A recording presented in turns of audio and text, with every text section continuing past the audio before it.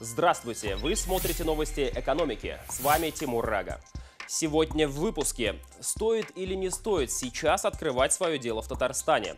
Власти республики определились с минимальной зарплатой в регионе. В Казани появятся две канатные дороги. Малые предприниматели Татарстана кредитуются активнее всех поволжских – Регион показал наименьший спад по показателям развития малого и среднего бизнеса в Поволжье с начала 2015 года. Об этом сообщил вице-президент Национального института системных исследований проблем предпринимательства Владимир Боев. По его словам, роста выручки в Татарстане нет. Тем не менее, республика стала точкой роста в 2015 по сравнению с другими регионами ПФО.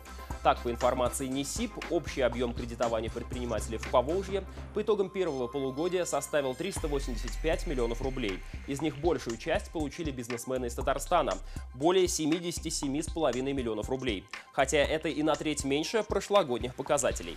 Татарстанцы просрочили займы банкам почти на 4 миллиона рублей, что составляет 5% от общего числа кредитования.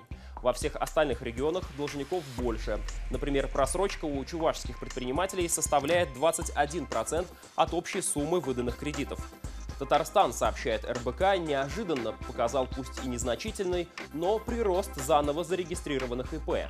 В январе-июне 2015 года их возникло около 6,5 тысяч. Это на 3% больше по сравнению с аналогичным периодом прошлого года. Как считают эксперты, открывать свой бизнес в Татарстане все же менее рискованно, чем в других регионах. Но в любом случае нужно помнить о кризисе в экономике, который еще не завершился. Здесь надо понимать, что Татарстан достаточно экономически развитый регион, и в таких регионах э, кризисные явления переносятся все-таки полегче, чем э, в слабых депрессивных районах. Поэтому э, как раз нормальная реакция примерно год после каких-то кризисных явлений. Общество привыкает к этому, понимает, что надо жить дальше и ищет возможности. Поэтому вполне логично, что вот как раз вот сейчас вот начинается какой-то подъем, люди ищут возможности для заработка, регистрируются в качестве предпринимателей.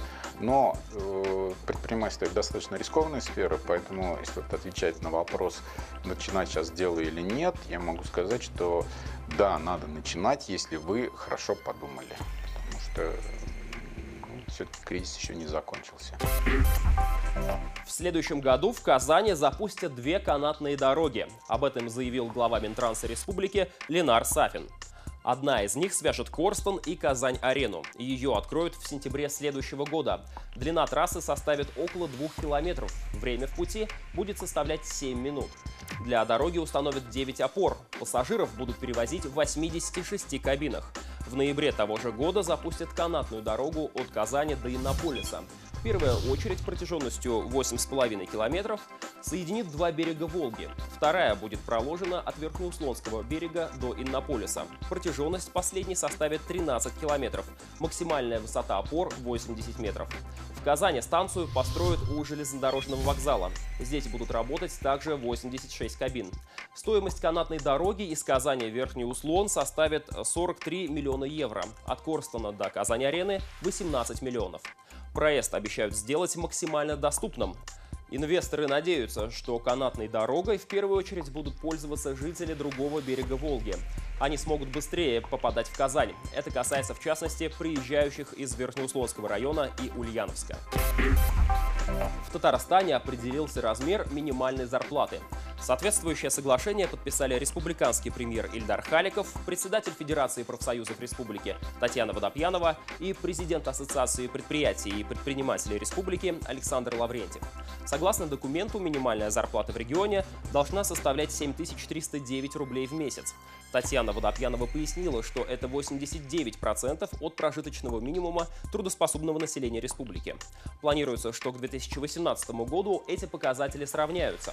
Подобное соглашение в Татарстане сторонами социального партнерства подписывается в третий раз. Прошлогодний документ предполагал минимальную зарплату почти на одну тысячу рублей меньше, чем нынешний. Как заявил Ильдар Халиков, факторы снижения российской экономики отражаются и на экономике Татарстана. По словам премьера, средняя зарплата в Татарстане составила 28 682 рубля. Это на 8% выше, чем в прошлом году. При этом реальная заработная плата снизилась на 4,6%. То есть купить товары на эти деньги сейчас можно меньше, чем год назад.